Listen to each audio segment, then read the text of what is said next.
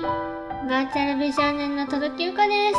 じゃーん、見てください。360度プラネタリウムですよ。そう、2万人記念にやりたかったのはこういう動画だったんです。まあちょっと、ちょっとこう、口が回っておりませんけど、負荷で。でも、OK です。ちなみに今回事務所の力は一切借りておりません。完全ウカの、ウカのお手製でございます。さすが技術系ちなみにあちらに見えますのが、ウカが先ほど作った適当銀河でございます。上とか下とか、よくいろいろ見てくださいね。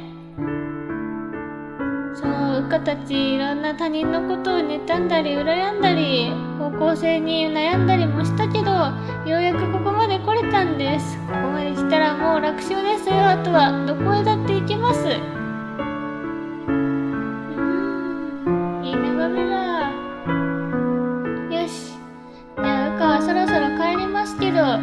なんか見たいもの